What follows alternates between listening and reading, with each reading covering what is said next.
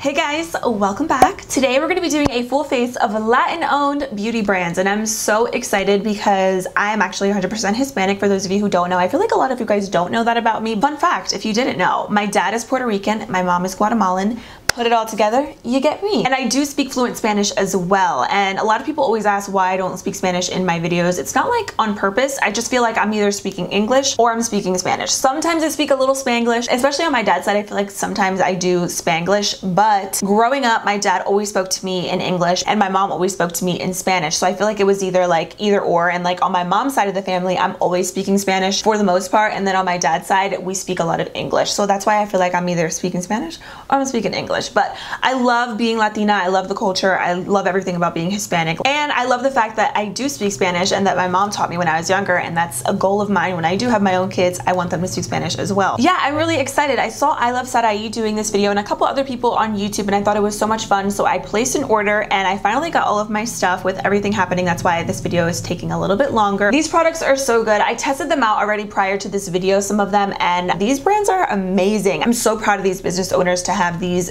amazing lines with great products. So yeah, I hope you guys enjoy this video. Make sure you grab a snack and subscribe if you have not already. And I think that's all I have to say. So let's get into it because I know this video is very long, so let's get started. So starting with brows first, of course, I have a new brow product. This is from Reina Rebelde. It is the Rebel Eye Paint for brows and eyes. So first of all, the packaging on this is really cute. You can see it has a little skull on it, and this one's in the shade Frida. And this is what the color looks like.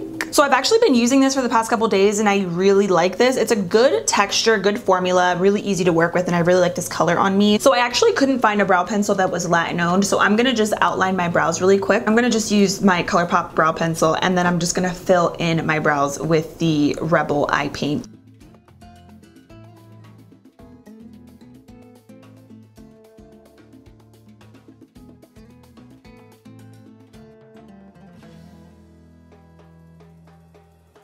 Then to clean up my brows, I'm actually gonna use the Pinky Rose Cosmetics Extreme Contour Palette because I usually like something that's a little bit thicker for carving them out and this is perfect. So this is what it looks like and I think I'm gonna go in with this shade right here. And I'm gonna use one of my favorite brushes. This is from Alamar Cosmetics. This comes in a little trio with two other brushes and I love their brushes. I use them pretty much almost every single time I do my makeup. They're so good and Alamar is such a great brand. I've talked about them several times but like I've never had a product from them that didn't work for me. Like I love all of the stuff that they have on their website. They're so good. These brushes are my jam.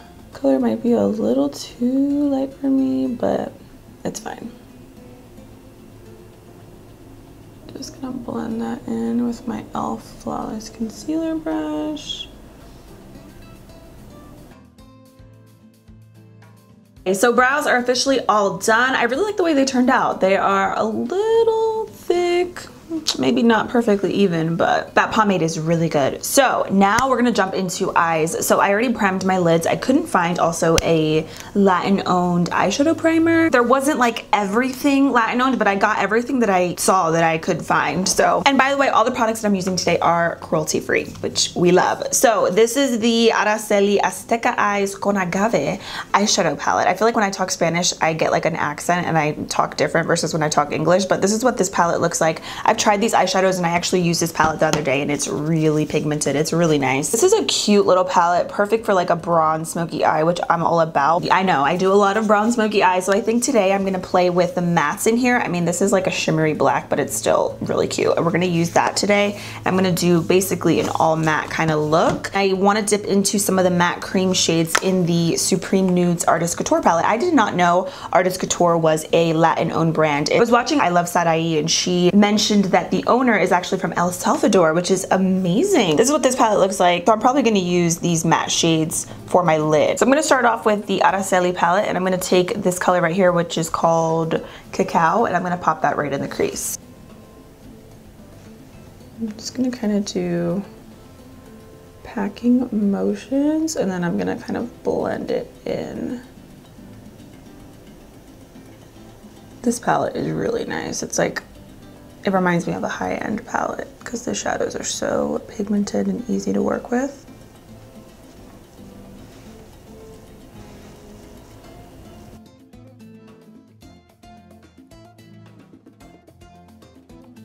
Then I'm gonna use the Alamar Cosmetics brush. These don't even have like names or anything on them anymore because that's how long I've had them. I got these in a BoxyCharm like two years ago and I've been obsessed with them ever since. So I'm gonna take this brush. I'm actually gonna dip into the Artist Couture palette and I'm gonna take this like light mustardy brown. I'm gonna use that just to blend out the edges of the shadow.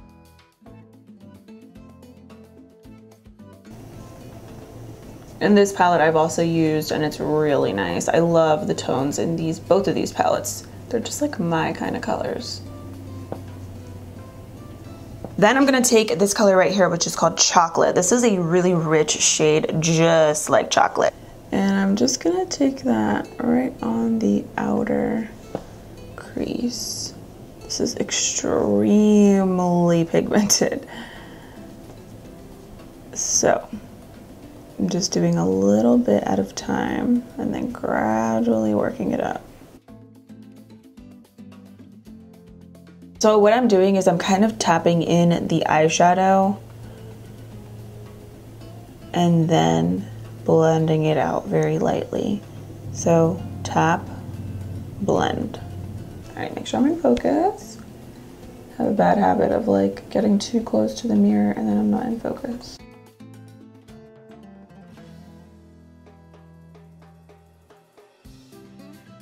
This eye is always a little bit more choppy than the other. It's because I'm right-handed, so everything on my right side always looks better than on my left. I'm gonna dip into a little bit of this shade again from the Artist Couture palette, that mustardy shade. I love this color. It's a good blending shade.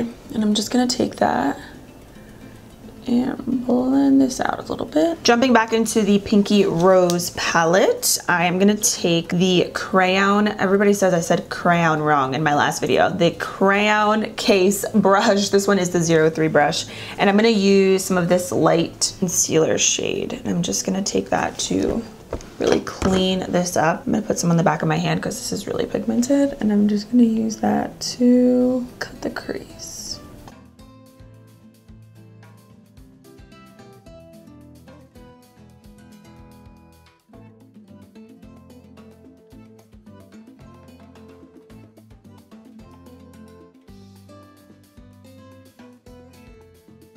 So this is really not super necessary, but I really want these matte shades to stand out and to pop. So I'm gonna take Stripped and Exposed in the Artist Couture palette, and I'm gonna use both of these colors right here just to set everything down, kind of mixing both. And I'm just gonna pack those colors on.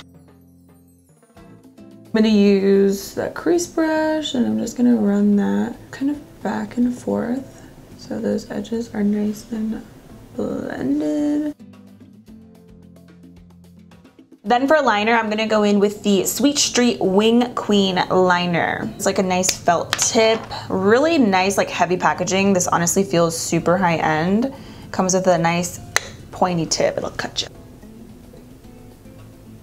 I'm gonna kind of freehand it. I'm not gonna use my e.l.f. eye tapes for once. I used this other day and it was really nice.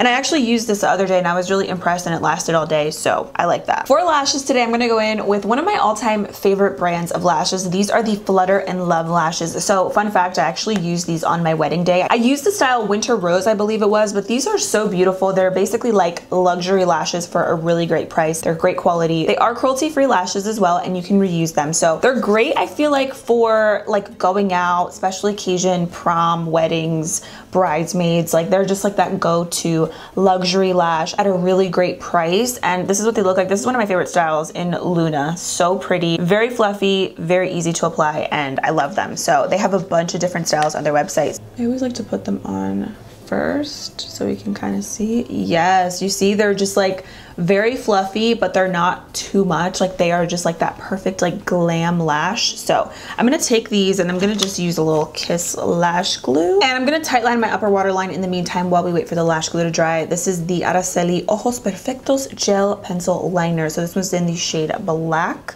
another product. I, by the way, I used all these products, but this is another product that I used and I really like this liner. This is super creamy. So I'm gonna just tight line. I'm gonna line my waterline later on with this as well.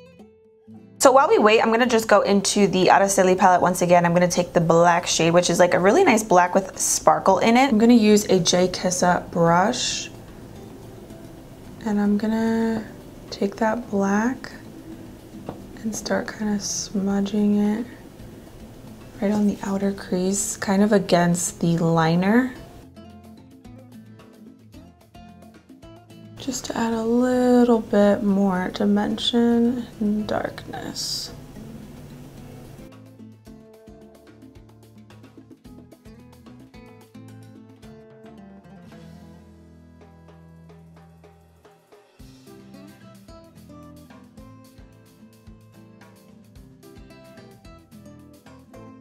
All right, now we can pop on the lashes.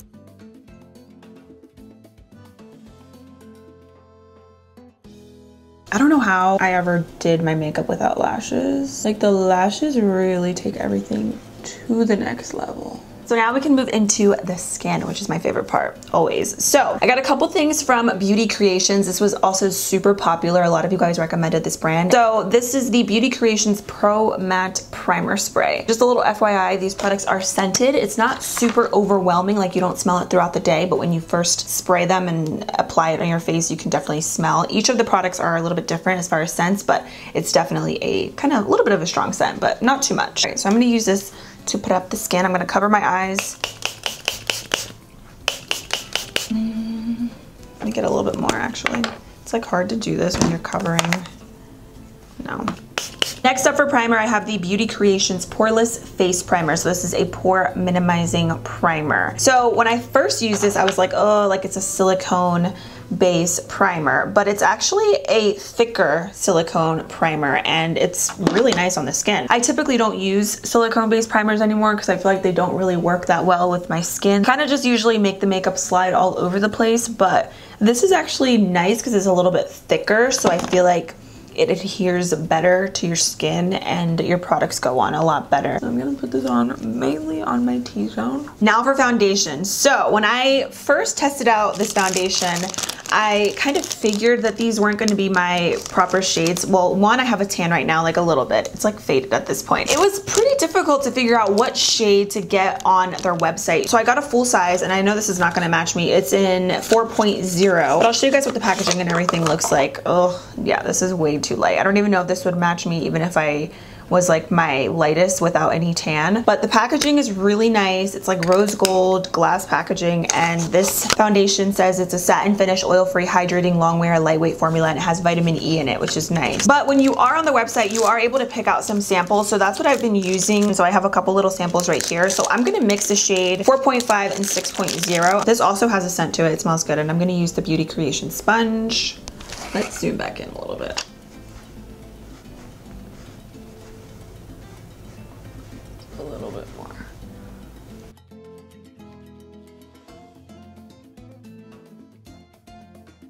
I'm gonna definitely drag this down a little bit to my neck because it's not my perfect shade. All of the foundations, like the samples that I have also, they have a lot of yellow undertones to them. So just a little FYI. This is very yellow, but with concealer and everything, it should work in the end. So you can see the coverage is nice. It's definitely to me it's more of like a matte finish, not super satiny. I feel like this could be a good foundation if you have oily skin. I prefer something a little bit more dewy these days. It's not a bad foundation, it's just like, you know, we like what we like, but does have really nice coverage as you can see it like evened out my skin tone. Blends in nicely and I really like the sponge by the way, it's super bouncy. I'm gonna go back into the Pinky Rose palette. So I used this once on my face, the bronzer colors, and I like the formula of this, it's really nice, but I wish that these were a little bit more on the brown side. They're a little bit too orangey, like red for my skin tone. Like I do like a warm bronzer, but I feel like these are a little too warm for my skin tone. But again, the formula is really nice. I used this color the other day so I'm going to use this again today and I'll probably mix in a little bit of this one as well. And just start working these in.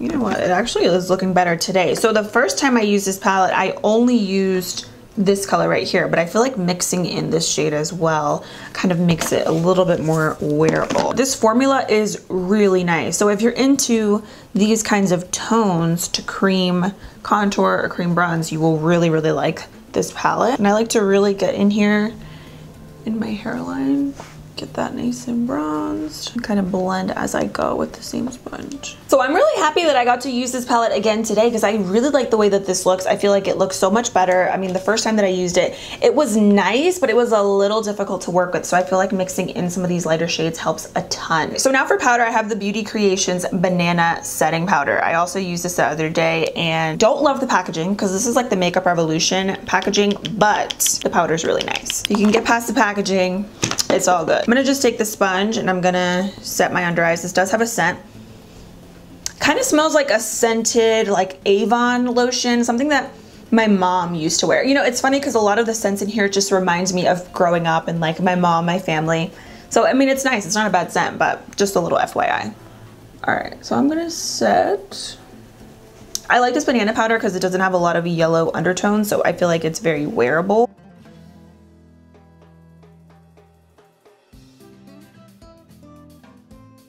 Use a brush to kind of dust everything away. That powder's nice too because it's like very bright under the eyes, but I feel like it's not too much. And it's really comfortable on the skin too. It's not like too dry or anything. So I like that too. I used it the other day and I was really impressed with it. And when I tested it out, it didn't have any flashback and I tested that out on my iPhone. So love that. Now to set the bronzer, I'm gonna use my Alamar Cosmetics Brighten and Bronze Complexion Trio. This is another product that I love. I've talked about this in a favorites video. This color right here is great for brightening up your under eyes. I love it. I feel like we have a lot of light going on under there. So I'm not going to use it today, but I am going to use these bronzers in here, which I love. So I have this one in the shade medium tan, and I just showed you what it looks like. So let's use it up. So I'm going to take my brush and just swirl in here. Look at that color. It's perfection. And I'm really going to use that to bronze. I don't really ever contour. I like to just bronze.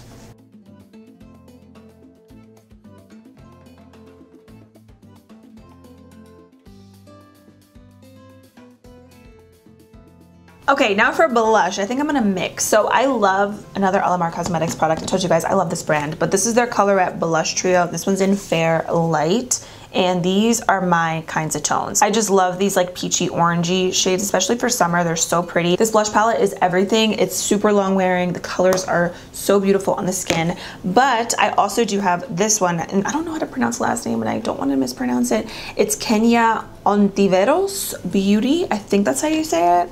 I know every time I talk in Spanish, I get like a little accent. Don't come for me. But this is what the inside looks like. So I did use these blushes the other day and they are intense. A little bit goes a long way for sure. I'm going to use a little bit of this one and then I'm probably going to add a little bit of Alamar Cosmetics over top because I'm always mixing my blushes, but be mindful. This palette is intense. I'm just going to put some right on the apples kind of blending it upwards. Oh, I forgot to do bronzer on my nose. I just realized that. Let me do a little blush on the nose.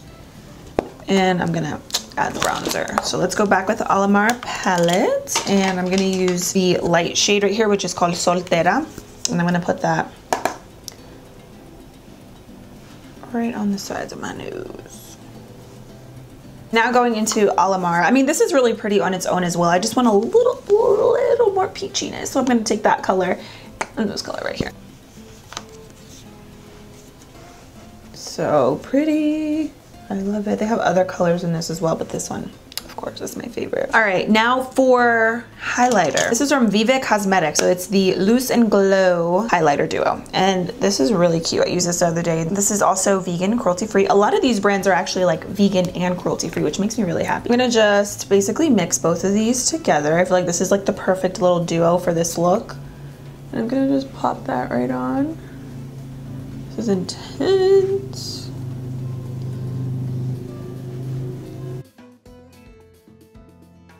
So I'm gonna do my lips now, and this is one actually one of my favorite lip liners ever. I have raved about this. It's another one from Alamar Cosmetics, but this one is in, like, look how tiny my thing is. I mean, there's still a lot left, but like, I'm going through this. So I have backups of this because I love it. This is their lip liner in Dulce. This is that perfect like everyday color. And then I'm gonna top that off with the Artist Couture lipstick. This one's in Saucy Gal. This has been my current favorite like beige kind of nude shade. Think it goes really well with the eyes too. And then I got these new glosses. So these are semi-suede lip glosses, again, from Kenia on, I just don't want to keep butchering her name. And this one I got in the shade Mini Nude. So we're going to top that off with some gloss. Alamar has really good glosses as well, but I figured we would also show this brand some love. Ooh, this is pretty. I haven't even used these yet. These are brand new. Oh, wow, these are pigmented. Okay.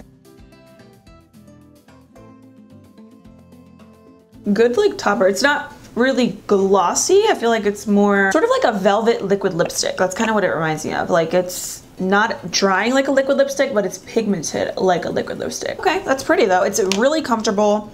I feel like it's good over top of maybe a lipstick that's too drying. I mean, the Artist Couture lipstick is nice on its own, but that kind of nuded it out a little bit more. So I want something a little bit more glossy though. So I thought this was gonna be more glossy, but it's fine. It's still really pretty. I'm gonna use the Alamar Cosmetics lip gloss in the shade Divina.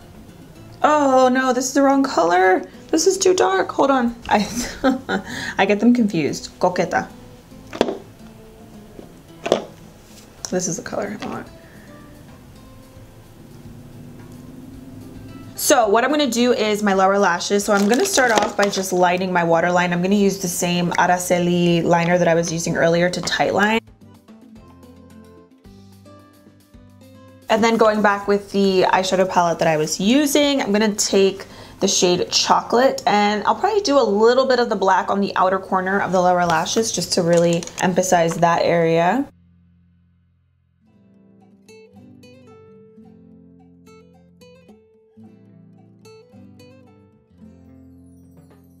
I forgot to mention also these lip glosses, they're a little bit sticky, but they're super long wearing and you can just see how pigmented they are. They're gorgeous over like any nude lipstick or any lip liner and they're also really pretty on their own because they are so pigmented. But I really like them because they do last a really long time and the formula I think even though it is a little bit sticky is still really nice. Last but not least, I'm gonna set my makeup into place and I got the Beauty Creations Flawless Stay Setting Spray. So it says it's weightless, 18 hour wear, matte finish, and it can be used as a setting spray or refresher refresher.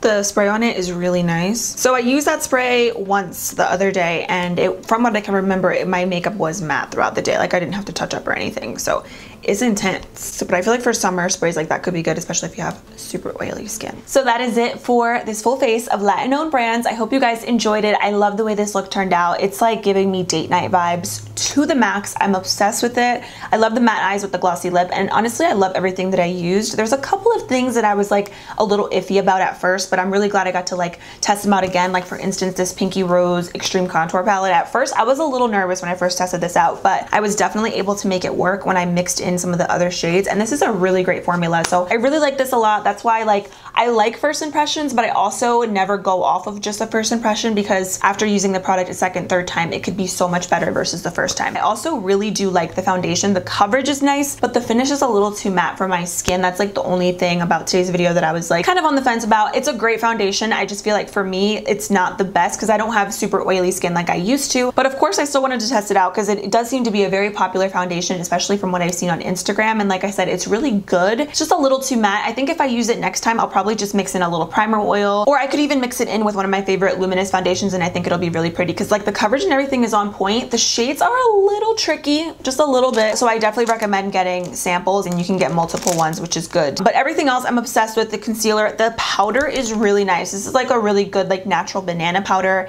It's very smoothing, it's very bright, but it feels really comfortable on the skin. I'm obsessed with the cheek products that I use. I also love the eyeshadow palettes that I use, these are incredible. And this blush palette is also really beautiful. I feel like for traveling or if you're a makeup artist, this could be a really pretty palette to have in your kit. And this lip combo, I am like living for it. And also the sponge from Beauty Creations is really good as well. Something else I wanted to mention also, the sprays from Beauty Creations are intense. This is also very matte. So I think if you have oily skin, you will really like this brand. The liner and lashes though. I mean, the lashes I've used before, but this liner is really, really nice. Super matte, super black black, very easy to work with. Yeah, that is it for today's video. Thank you guys so much for being here. Go show these brands some love. They deserve all the recognition and even so much more. I will link everything that I used down below and that is it. Until next time, I'll see you guys very soon in my next video. Bye!